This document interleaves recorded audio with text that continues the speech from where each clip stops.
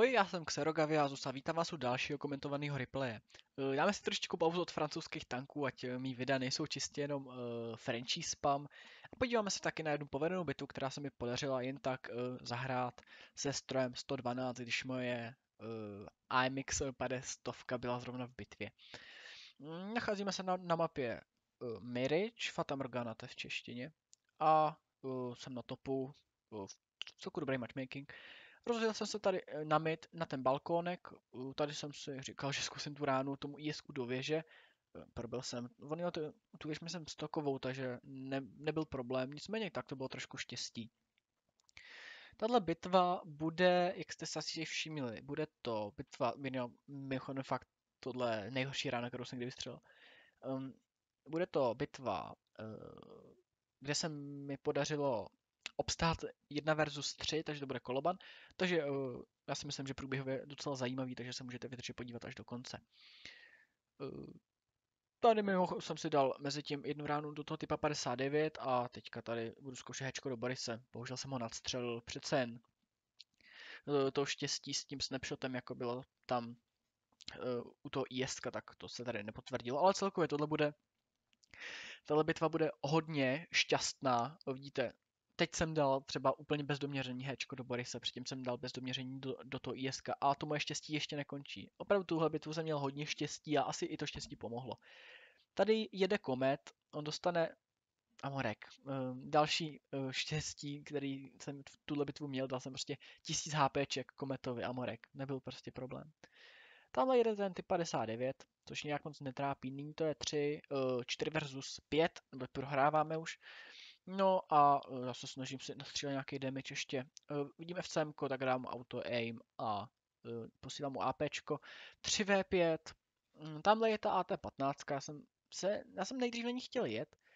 Nicméně, koukám se tady kolem, jestli mě nic ne, neodbíží, nicméně jsem tam všiml, že se tam valí těch tanků trošku víc. AT15 udolali, dal jsem tady ránu tomu FCM, celku bez problému.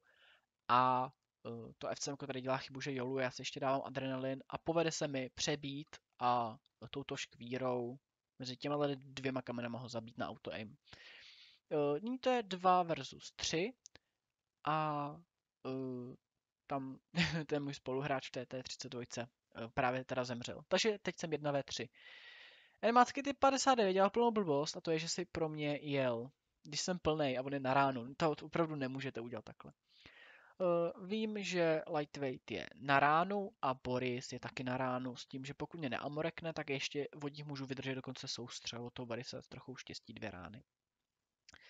Uh, ale to jsem si věřil, že teďka to nebude problém. Naznačil, jako jsem svítil od toho typa 59, tak jsem naznačil, že pojedu dozadu a jakmile jsem zhasl, tak jsem opět jel dopředu. Spotl jsem tady toho lightweighta a opět šťastná rána. Naprostý snapshot jsem ho ještě hitem probil Eh, že jsem mu netrefil pás, bylo štěstí. Takže, takže že jsem s nepřetem hitem trefil prostor mezi pásama, tím pádem tank a ne pás, že ten hit probil. A nyní to už je jedna ve jedna proti tomu Borisovi. Ten Boris už to teďka, pokud mě neamorekne, tak to už takřka nemůže vyhrát, protože i kdyby mě třeba trekl a já neměl opravy, tak opravu rychleji, než on nabíjí. On ještě koukal jinam, tak bez problémů naprosto Chyba trošku, že jsem střílel hatchkem, hatchka ne, neovermatchuju, takže jsem ho teoreticky mohl bouncenout, ale tak, vedlejší věc. První třída válečník High Caliber, Redley Waltersova medaile, Kolobanovka a Reaper 4 za to, že jsem dal 4 tanky uh, po čtyřech po sobě jdoucích zásahách. Velmi povedená bitva, eh, Koloban vždycky potěší, eh, jde, že jsem docela potahal tým, necelý 4000 damage. To jsou přesně takové ty bitvy, kde máte ideální kombinaci štěstí, dobrýho, špatný, že máte ideální kombinaci eh, vašeho štěstí špatného, vašeho i špatného nepřátelského týmu.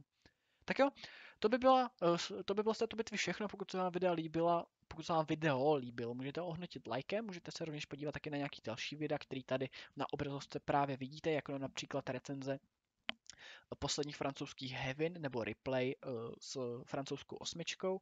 Ještě jednou vám moc krát děkuji za sledování a budu se vás těšit někdy u nějakého dalšího videa. Mějte se moc hezky a ahoj.